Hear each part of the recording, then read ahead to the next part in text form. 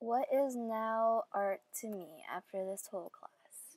Well, art still is the same for me from the beginning. It's still um, a way you can externalize how you feel, not through words, but through image, through perspective, through um, an actual object instead of using your voice.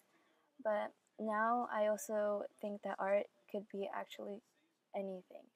Could be anything in the world, and we can't. We we wouldn't even know if like if like the artist wasn't there, we probably would pass by some art that we would that we never thought would be art, or even have like a deeper meaning than that.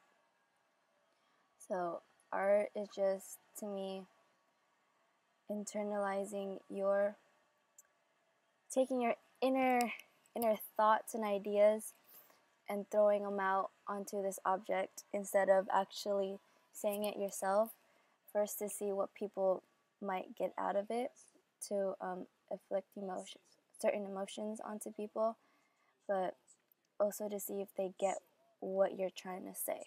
See if other people get what you believe and if other people do believe that you can probably collaborate with them or something. Start a domino effect in the world that one idea affects another idea affects another idea.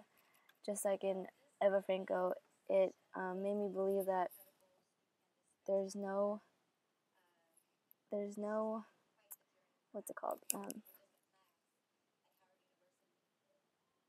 there's no an original idea because one idea is um, inspired by another idea or it's just a copy or modification of that idea so yep that's what art's to me now i really enjoyed the class sometimes the only thing i didn't like was second life but i got used to it it's not that bad once you get a hang of it it's really a fun class actually the only things were the lectures.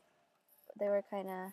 I liked watching the movies and having little like discussions after them, but some parts are kind of a kind of boring.